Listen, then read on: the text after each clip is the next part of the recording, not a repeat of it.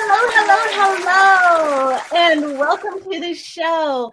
We are here today on Renee Speaks Golden Nuggets with our amazing guest. Our guest today is an absolute subject matter expert in all things strategy. So, our guest has been a business owner and entrepreneur for over 20 years. And throughout her journey, she's experienced both highs and lows, as is common for any professional.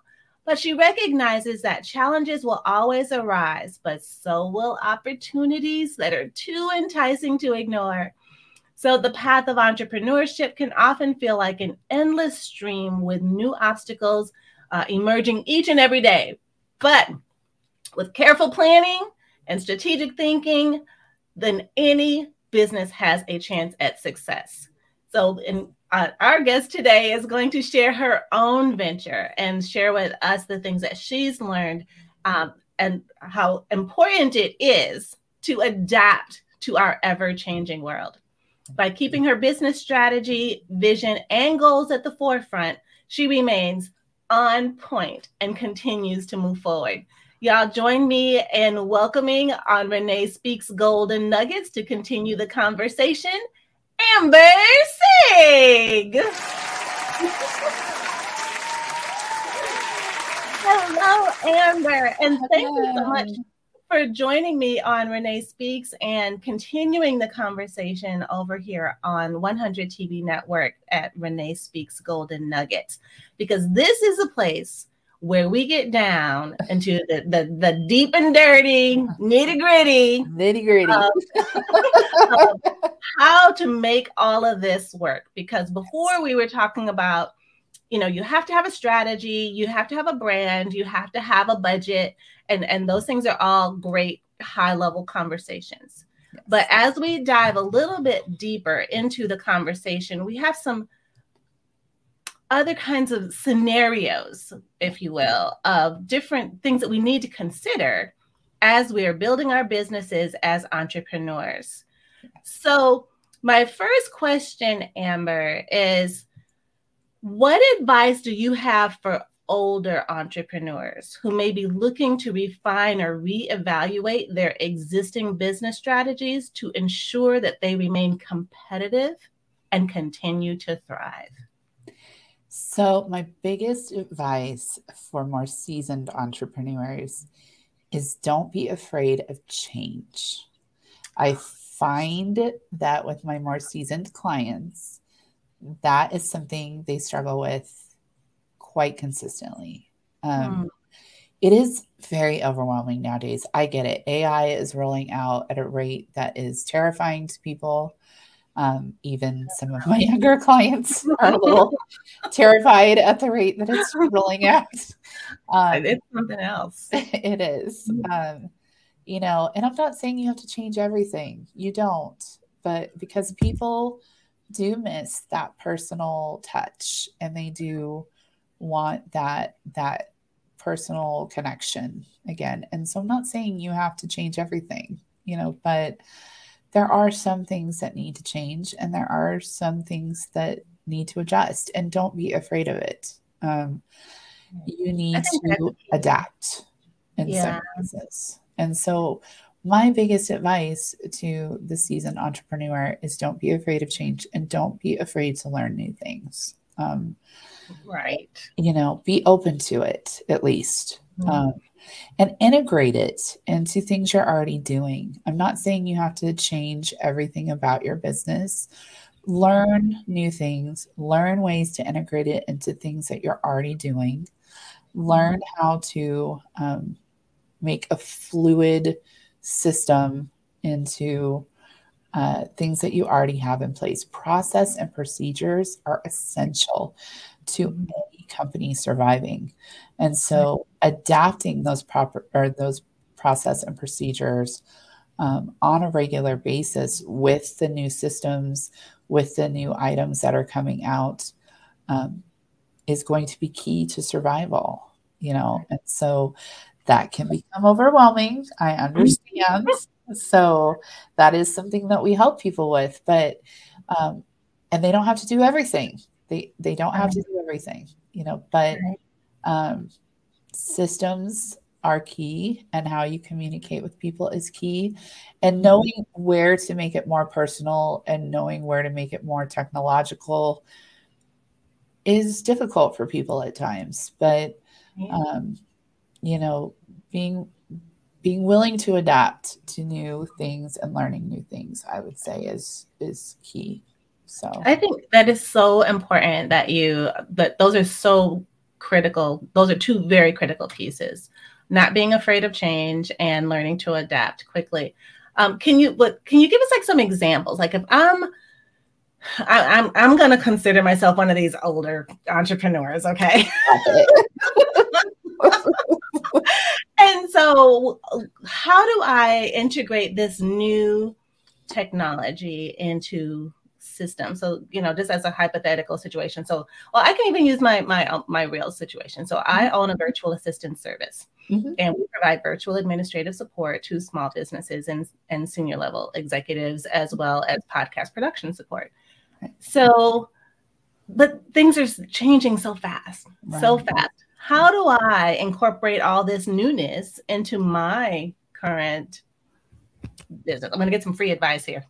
no, no, no problem. so, um, definitely keeping your um, technological systems up to date so mm-hmm. that you are able to give your clients the best access to portals to um, access to their information as easily as mm-hmm. possible um, and then training training them on and making it as simple for them as possible um, making that training simplified mm-hmm. and making it in a format that they understand it and can um, I hate this word, but it's a it's a good word. Assimilate it as possible. I think of Star Trek when I say that word. right, my grandma was a huge Trekkie. I watched it with her a lot. Um, but you know, you you have to be able to make it in a in a manner that they can retain it very quickly. Right. You know, so simple portals simple access to information, you know, because it is getting more complicated, it is getting more technological. Uh, they want it to be very simple, simple ways they can upload information to you, simple mm-hmm. ways that they can uh, access it and upload it to their systems. If you're doing that for them, they still want to understand how you're doing it, you know. Right. Um, and so I would say maybe pre-record some of the trainings for them so they can watch it at their leisure whether it's in the evenings or weekends. Um, okay. you know some people like it um, written with screenshots with big arrows so um, i would give different options for training um, mm-hmm. so some people love videos some people you know love to listen to it. Some people are very audio, some people are very visual, some people need to read it. So, um, mm-hmm. and some people need both. So right. I would right. give different options for that. Um, but I would say your client's portal, in, in, the case that you're giving this type of service, needs mm-hmm. to be as user friendly as possible for them. Um, yeah. Because that's what they're going to be looking for from you is simplicity. So, because right. that's really what they're looking for when you're a VA is they want simplicity. So yeah, that's what I look for from my VA. I just want to like throw it at her and be like, here, yeah, you, here go do this. Can, you do this for me? So you're like, well, of course I can. you know, so like, can you take care of this, please? So um, oh, okay. Yes. I love my portal with her. So. well, that's awesome. I'm so glad that you are being taken care of that way and that you have, you know, it's contributing to work life balance. You know, as a business owner, you know, that too is so important that you have a support system um, in that way to help lighten your load. So I am super, super, super happy that you have that. she's, she's great. so, kind of further on to this um, uh, conversation about older entrepreneurs, how do you balance the wisdom and experience that's been gained over the years with the need to embrace innovative, cutting edge strategies to keep your business on point? You know, this is where I'm starting to suggest that some of my older entrepreneurs maybe um, employ maybe a younger VA or mm-hmm. maybe um, a younger entrepreneur employ an older VA. Um, this is where I, I'm suggesting that we maybe partner with someone who's older and wiser or younger and more technological because um, they need that balance between them. Um, you need to employ or partner up with somebody who is the yin to your yang, who has the strengths that you do not. The um, yin to my yang. Yes. So, like, you know, it, it needs to be someone who can bring strengths to your company that you lack, you know, and so, um, and that, you know, again, like I said earlier, it needs to be someone who you can trust and partner with and make sure you protect yourself. But mm-hmm. it, it needs to be someone who, in this case, it's not so much that you're partnering with someone, but that you're bringing someone on as a VA or as an employee, more in this case, who can mm-hmm. support you, or as a coach who can support you and teach you some of these things, um, who or just handle them, or just, or just handle them exactly. Um, That's one thing I, I have discovered. It's like I don't have to know everything. It's like somebody exactly. else knows that.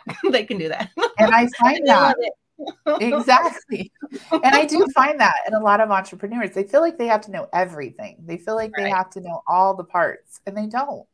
You just right. need team members that do, you know, know exactly. the other parts. And so, whether that be a VA, whether that be a technological VA, whether that be, you know, um, a tech guru, as I like to call them, you know, mm-hmm. who does your videos, who does your social media, who does whatever you have them doing for you, it just needs to be someone that you trust and communicates. Communication is key.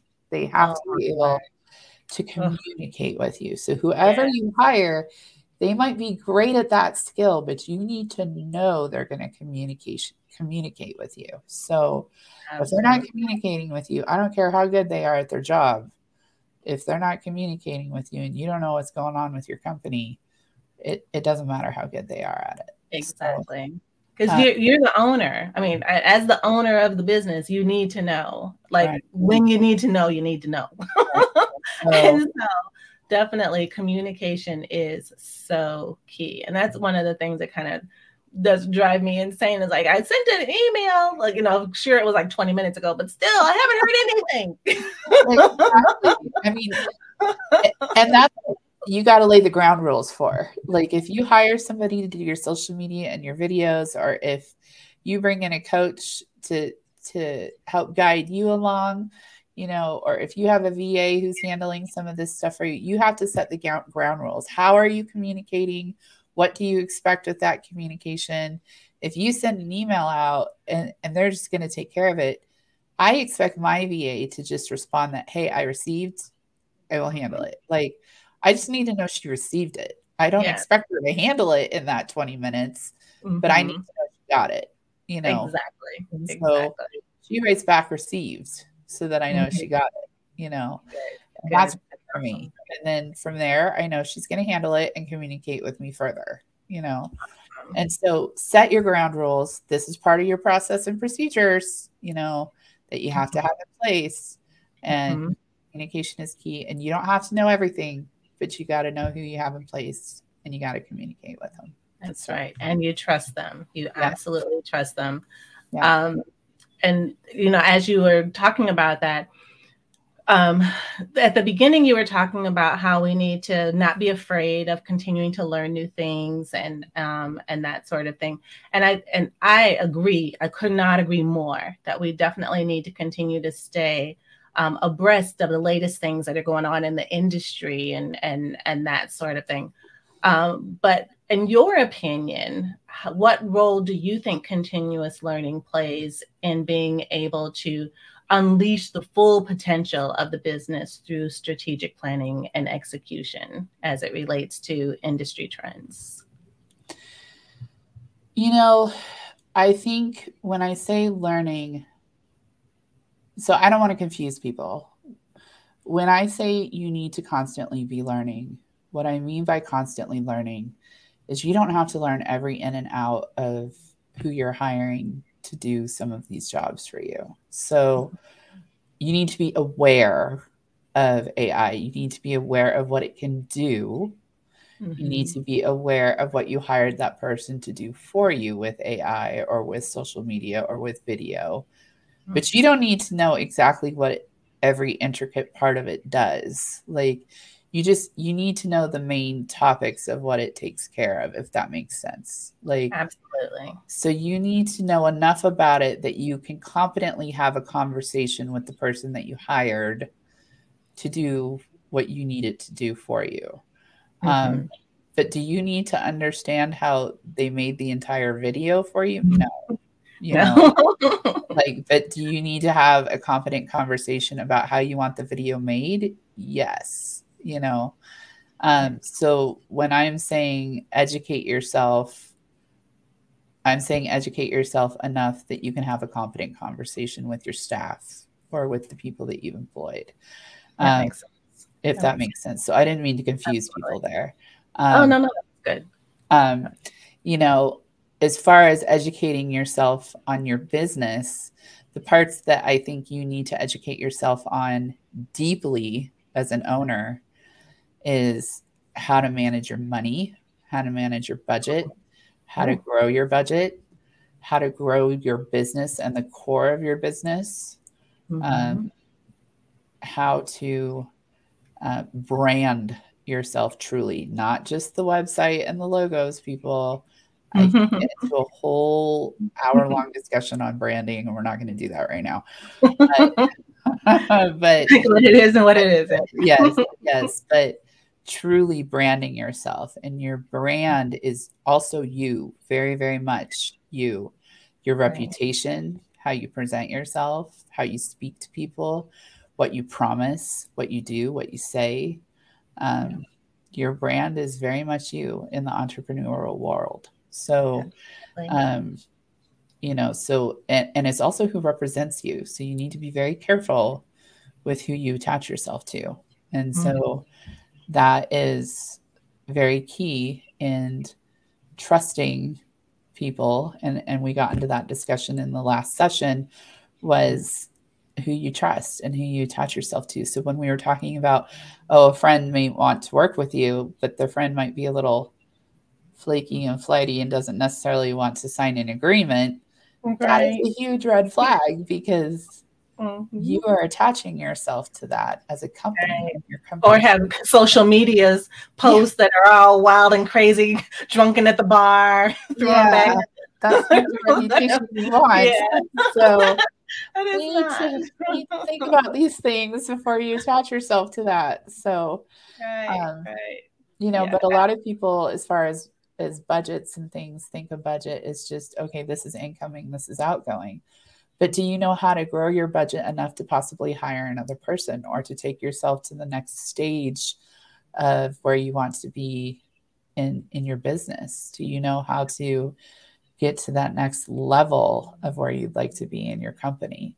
And that again can be a whole hour discussion on its own too. So these are the things that I think business owners need to deep dive educationally wise into. Um, and then I would surface educate on the things that you're hiring other people to do so you can have a confident conversation. So that's so smart, so wise. I love that advice that we can still refer to things as, you know, having our person who does our videos do the swirly thing, you know, and that's okay. but when it comes to numbers, right, right. But when it comes to our business, we need to know the numbers we need yes. to know how we're being represented as our brand and that the people who are representing us are in, consistent with what we want portrayed as our brand. And you need to know what process, procedures, representation, um, what you want in place and what you want happening. You need to know if you're out of town that things are running the way you would want them ran. If you ended up in the hospital, that things are being ran the way you would want them ran. I mean, I don't mean to sound negative when I say those things, but I have had that happen. I when I had my son, I had a huge amount of complications and if it weren't for my VA being the rock star that she is, mm. things could have gone very south very fast, you know. Wow. Um, yeah. And luckily, I had her in place and trained, but I know a lot of people don't. And these are things we have to think about when we are the owners of our own companies. You That's have right. to be sure the core elements of your business are structured and structured well. And yeah. then everyone else can do their job without you there you know. Mm-hmm. So exactly. And you yeah, can answer an email from a hospital bed. yes, yes, from your phone. yes. Thank God for those my office.